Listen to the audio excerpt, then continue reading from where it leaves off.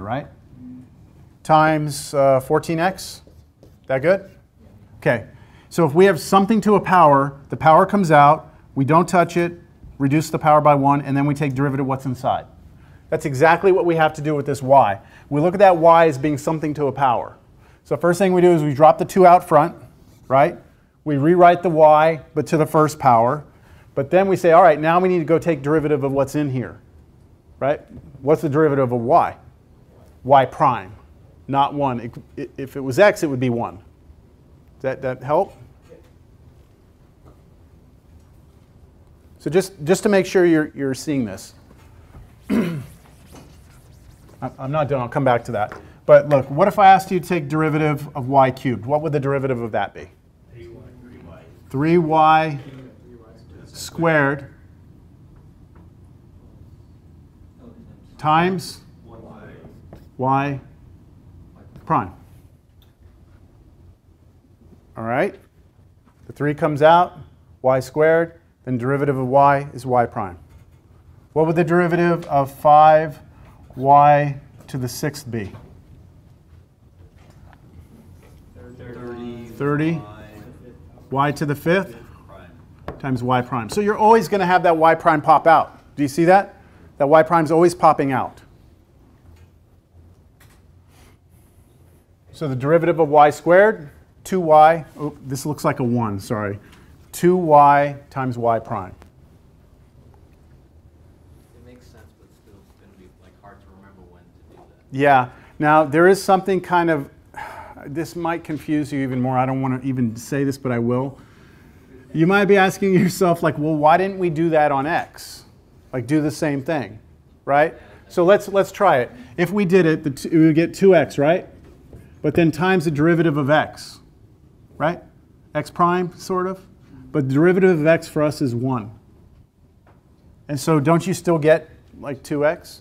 It's just the difference on the y is that the derivative of y is not 1. The derivative of y is y prime. Yeah, y is a function of x. So y is a function of x, and that is why that is why the derivative of x is 1, but the derivative of y is y prime. yeah, not, yeah.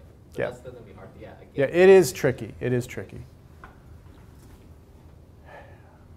Okay. Yeah? It's just, I mean, we're just touching the, the surface here, so. Uh, we're not done. Here's where we are with that. y prime x plus y. Now notice I did 1 times y is just y, right? Minus 2x equals 2y y prime. That's where we are. Now what we need to do is get, get all of our y primes on one side of the equation. Because I'm trying to figure out what y prime is. So let's, let's move this guy over. Well, you know what? Let's move this guy over here. So we'll have y minus 2x equals 2y y prime minus y prime x. So do y'all see I just grabbed that one and moved it over to this side so it made it a minus? Notice that everything on the right-hand side has a y prime. Do you see that? These both have y prime? So what I'm going to do now is factor a y prime out.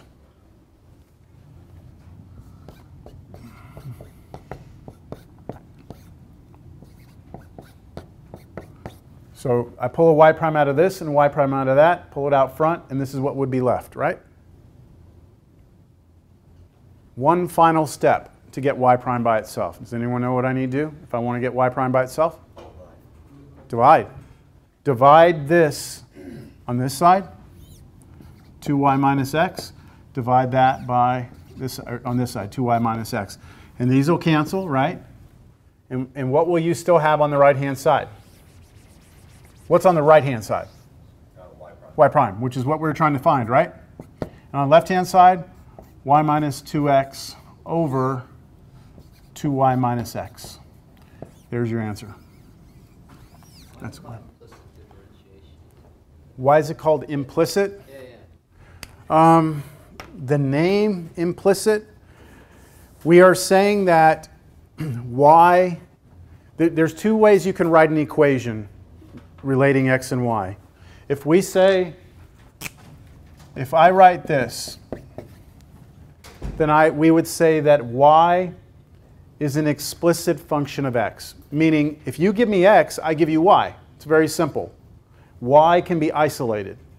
That's called an explicit equation. This equation right here that I started with, you cannot solve for y. You cannot make y equal with something with just x's in it. Anytime you cannot get one variable specifically in terms of another, when you cannot do that, it is called an implicit equation. All right? So because it's an implicit equation, we call it implicit differentiation. That's where the name comes from. All we've ever dealt with here so far are explicit equations. Now we get to deal with implicit ones. What do you need, magic or something? Well, you just have to be careful. It's just the way the derivative works is a lot, lot more involved, I guess. All right, you look really thrilled about this. I'm, I think you want to see another one. I can tell by the looks on your face.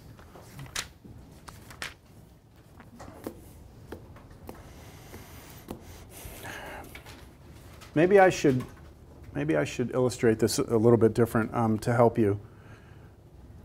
You know, everything we've dealt, dealt with so far, every, every function we've looked at, we could graph it, and all of these functions would have passed the vertical line test. Does that sound familiar? Vertical line test from 1324? It's how you test to see if something is a function. Every, every explicit equation can be written to pass the vertical line test. But what if, what if you have a curve that looks like this?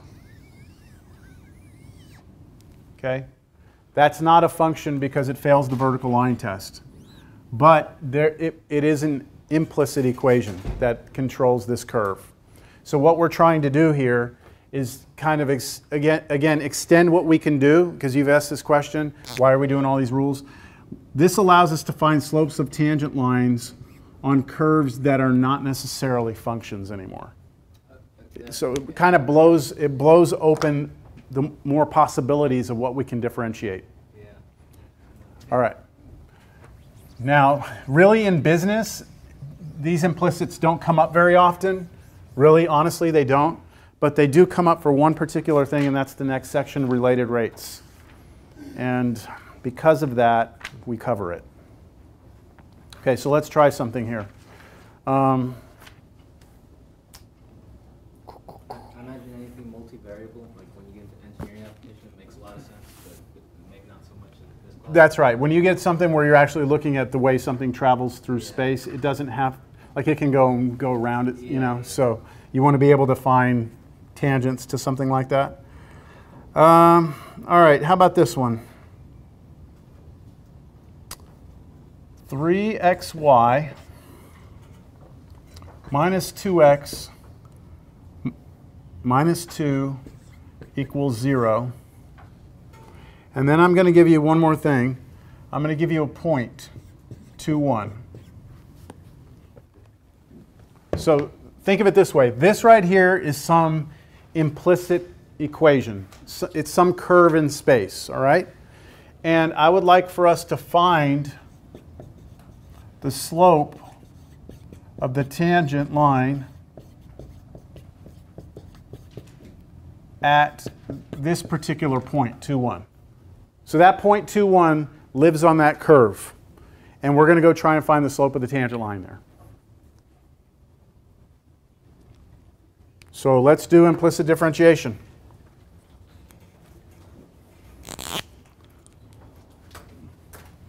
Remember, the derivative of x is the derivative of x is what? 1 and the derivative of y is what?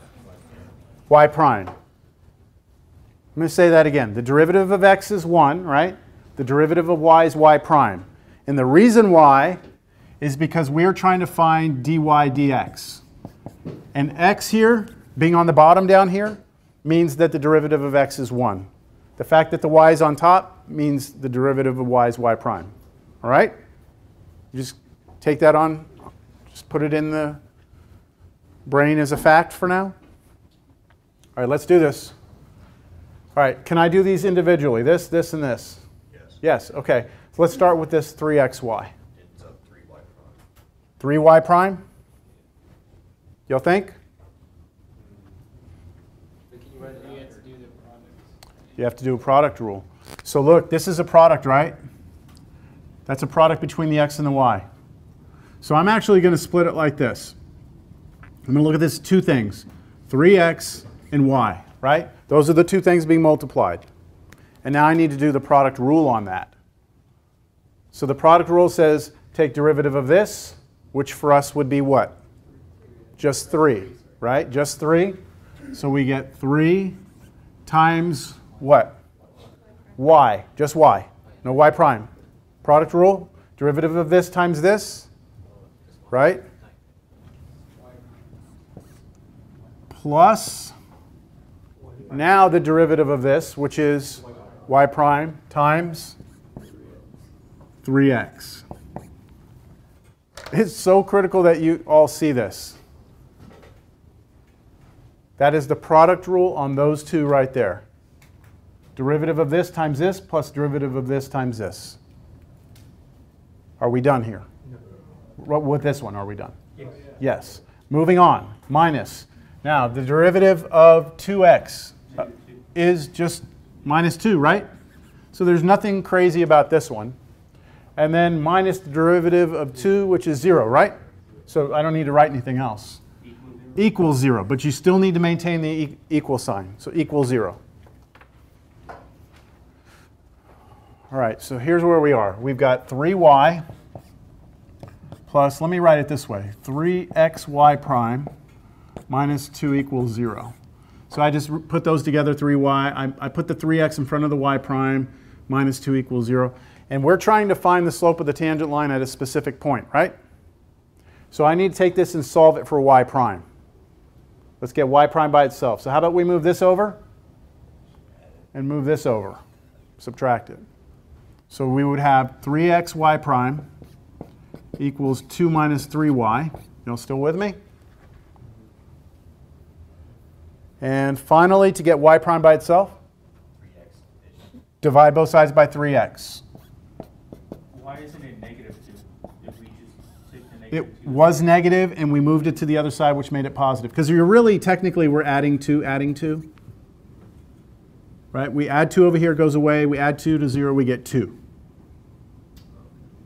And then over here, it's the opposite. We're subtracting 3y, subtracting 3y, so it becomes minus on this side. Then this, we're dividing by 3x, dividing by 3x, so this is it right here. That's our derivative. Now, we're not done, right? That's not the answer. Are there any questions, though, on where I got this? We still need to figure out what the slope of the tangent line is, right? At this particular point. So that's our x, and that's our y coordinate, right? So we're just going to take those and plug them in right here for x and for y. So the answer to the question, the slope of the tangent line, is that y prime equals 2 minus 3 times what? 1, good. And then over 3 times what? 2. So just replacing, you know, that y with 1 and that x with 2, and you get negative 1 sixth. Oh, wow, I didn't realize what time it was, sorry. Okay, so what I'd like for you to do to get started in 11.5 is to try problems 13 through 23 odds. Okay. Well, that's actually the whole assignment. that is the whole assignment. You see how you do on that, okay? See how it goes. Um, I want to have a quiz over this implicit differentiation because I think it's that important that the next class you're ready to go with it. So, how about I promise you one? A quiz next class on implicit differentiation to start. It'll be just like this. I'll give you an equation, I'll give you a point, and I'll ask you for the slope of the tangent line. So please practice that. Let me know if you have any trouble with it, all right? Anybody still need their quiz? I ha handed them out earlier. No? No, so I did. Here you go. I'll just go.